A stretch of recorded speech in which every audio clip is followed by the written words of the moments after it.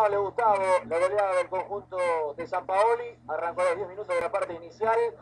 El desborde de Mena apareció para manejarla en aquel costado. Buscar el desnivel. Fíjense cómo pivotea primero Vargas y después recibe ese pase. Para evitar la salida de Campesino. No hubo offside. Esperamos que el se quedó marchado y a los jugadores del conjunto chileno de San Paoli y conjunto local. Un romántico lectura que se preparaba para ingresar en las semifinales de la Copa Luis Sudamericana, donde jugará contra Vasco da Gama. Allí, es la posición de Vargas, legal, correcta. Después, asistente más inmediato del árbitro, actuó con corrección. Cuando se murió la parte inicial, llegó esta corrida fenomenal de Vargas que anticipó a Alessandro López. Fíjese que por la izquierda llega Castro solo para rematar y recibir ese pase horizontal de Vargas, una de las grandes figuras del partido, sin dudas.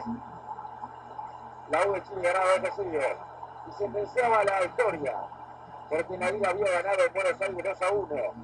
Tenía que hacer tres goles al final y recibir ninguno para seguir en la Copa de Sudamericana. Y máxime, cuando los 10 del complemento llegó esta maniobra la floja respuesta de Gran González para sacar al medio cuando quería la U y el gol de Canales.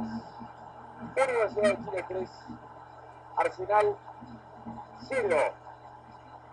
Semana que viene de Janeiro van a jugar Vasco y la U. A la 20 del complemento, la expulsión de. Entró en el segundo tiempo, acá lo derribó a Díaz. Terminó con 10 del equipo de Sarandí eliminado de la Copa Vista Sudamericana. A ver si para el final, este remate de afuera de Vargas y palo. Denegado el cuarto gol al conjunto azul. Nos queda una. A nueve para el epílogo.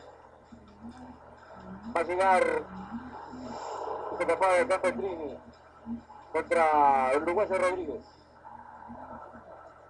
1 Chile 3, Arsenal 0 Santiago. El resumen del partido fue presentado por los temáticos Bridgestone.